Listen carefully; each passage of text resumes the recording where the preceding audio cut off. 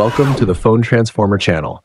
In today's video, we'll show you how to activate mobile data on your Samsung, step by step. If you find this video helpful, please subscribe to our channel for more tech tips and tutorials. Let's get started. Step 1. Start by opening the Settings app on your Samsung device. You can usually find it on your home screen or in the app drawer, depending on your setup.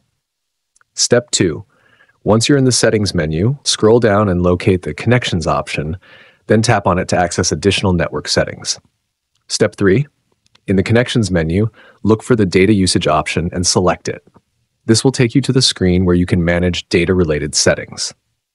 Step 4. On the Data Usage page, you'll see an option for Mobile Data. If it's disabled, the toggle will appear grayed out or inactive. Step 5. To enable mobile data, simply tap on the toggle switch. Once activated, the toggle will change color, indicating that mobile data is now turned on and ready for use. Thanks for watching, and see you in the next video.